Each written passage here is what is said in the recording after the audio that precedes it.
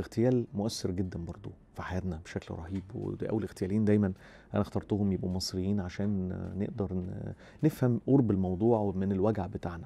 وللأسف هذا الاغتيال تم لحد أنا بحبه بشكل استثنائي لأنه أديب لأنه كاتب لأنه رجل روائي مشهور جدا جدا وسيم جدا جدا كان راجل عنده الصفة الروائية وعنده الصفة السياسية كعمل سياسي وللأسف السياسة دايما خطرة جدا جدا جدا. أنا من الحاجات اللي حصلت إن أنا اختلطت في فترة مثلا برئيس آه، بمصور الرئيس اللبناني آه، رفيق الحريري الله يرحمه وعرفت إن هو قبل ما يتحرك إلى آه، من من من مجلس الشعب في لبنان أو مجلس الأمة اللبناني إلى بيته وقف قدام المصور قال له بقول لك إيه أنا مش عايزك النهارده ما فيش تصوير روح بيتك.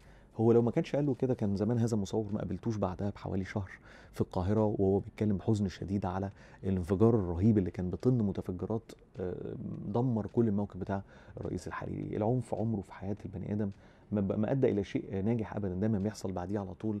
كبوة زمنية كبيرة جدا للأمة كلها بدافع إنه لأن طبعا ده بي... حد بيعمل حاجة بمصلحة شخصية يزيح عدو ليه؟ لكن هو في الآخر بيؤدي إلى كارثة رهيبة يعني.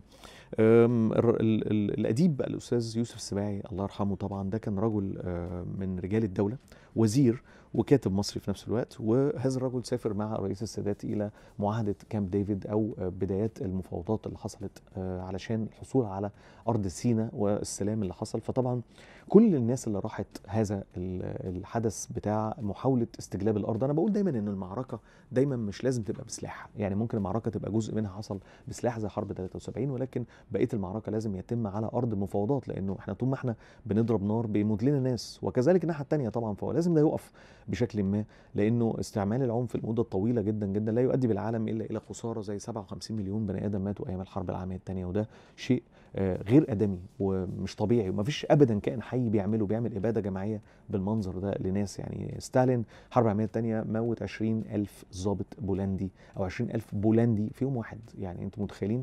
وطبعا لأنه انتصر في الحرب ما حدش افتكر له ده خالص وفاكرين كل ما حدث من ناحية هتلر. بس الاثنين طبعا داخلين في الحيطة ولكن أنا بتكلم على إنه في الآخر إحنا بنتناسى خالص اللي بيحصل عبر التاريخ لو انتصرنا. للأسف الراجل ده آه، الأستاذ يوسف السباعي هذا الرجل الوسيم الكاتب الكبير اللي عمل أفلام حلوة قوي وعمل مسلسلات حلوة قوي يعني حاجات عن أفلام آه، عن رواياته طبعا اتعملت.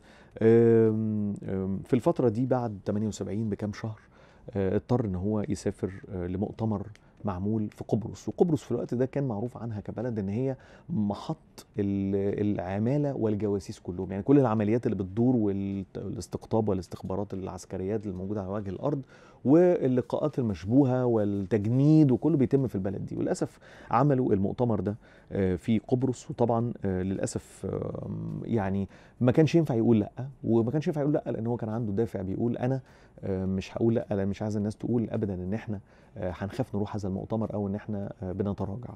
كانت قدرة على الشجاعة من عنده. نزل في مطار لارناكا ولازم نعرفوا إن المطار ده ليه آه، يعني آه، اسم مهم جدا جدا في تاريخنا بس إحنا طبعا مش مركزين فيه خالص. مع الوفود المشاركة طبعا وفي بدأت حيثية المؤتمر والراجل اتغدى في يوم من الأيام وبعدين فجأة دخلوا عليه في الفندق وحصل الاغتيال ضربوه بالنار موتوه. وطبعا الفكرة كانت صعبة جدا جدا لأنه كان في رهائن كمان وخدوا بعض الرهائن بعد اغتيال آه، الأستاذ يوسف السباعي وقعدوهم آه، جوه الكافيتيريا وبعدين بدأوا ينزلوا بعض الرهائن منهم واحتجزوا 11 شخص وقرروا إن هم عايزين طيارة عشان يطلعوا من المطار. في اللحظة دي رئيس السادات وجه طيارة فيها قوات خاصة إلى مطار قبرص بدون ما يتكلم مع السلطات القبرصية خالص ونزلوا عشان يحاولوا يحرروا هذه الرهائن وللأسف حصل اصطدام كبير جدا جدا. كان في إحساس شبهة من ال- الحكومة القبرصية إن هي ممكن تكون سهلت هذا الاغتيال اللي كان موجود. وطبعا بعد كده تم اتهام بعض العناصر الفلسطينية إن ممكن تكون ضليعة في ده. بعد كده تم معرفة إن الموضوع أكبر من من هذه الفكرة وفي وقيعه بتحصل ولغايه النهارده ما حدش قادر يمسك بالظبط بالظبط هو مين اللي مسؤول ما هو مش لازم الاغتيال ده يكون هو صاحب الفكرة ممكن يكون منظمة تانية خالص ادت ان هي تجيب حد عشان تخليه يقتل. وطبعا آه، يوم الجمعة ده آه، الأستاذ يوسف سباعي وصل واللحظه دي كانت لحظة حاسمة جدا جدا في حياته في سنة 78 هو على فكرة توفى بعد ثلاث أيام ما أنا اتولدت. يعني هو توفى يوم آه، آم، 17 أنا آه، اتولدت يوم 14 يعني أنا اتولدت هو توفى بعدها بثلاث أيام. يعني كنت وشي وحش قوي على الراجل ده. المهم إنه في الآخر آه، الوفد المصري طبعا شارك في المؤتمر ده كان تضامن افرو اسيوي آه، رقم ستة وتضامن مهم جدا جدا ما بين القارتين دول.